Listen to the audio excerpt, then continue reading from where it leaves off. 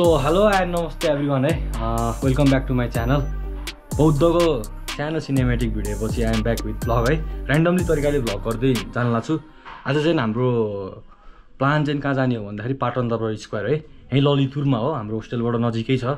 त्यस्तै आधी घन्टा कि पन्ध्र मिनटको राइड गरेर गए पुगिँदो रहेछ। अनि पाटन चाहिँ के को लागि फेमस छ भन्दाखेरि यो चाहिँ एउटा अब बच्चामै पढायो ओल्ड हेरिटेज साइडमा पढ्यो कि युनिस्कोसले। युनिस्को छ कि युनिसेप के के भन्छ नि त्यसले हेरिरहेको छ होइन? अनि त्यहाँबाट आएर त्यहाँ चाहिँ डिफ्रेन्ट धेरै मन्दिरहरू छ। त्यही हो।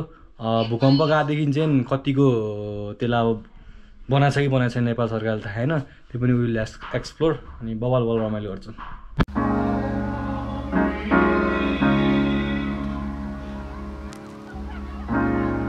You have to be your biggest fan.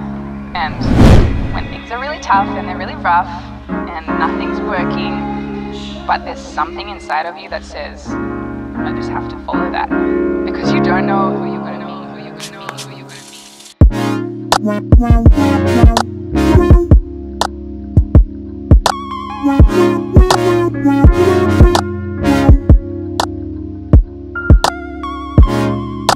to be.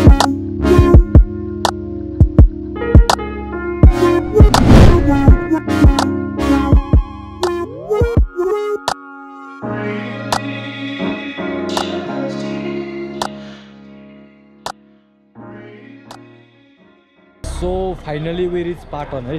Patan आइपुगिसकेछौँ अनि बाटो इन्ट्रान्स बाटो दामी लाग्यो हल्का टेम्पलहरू बिल्ड हुँदै रहेछ है।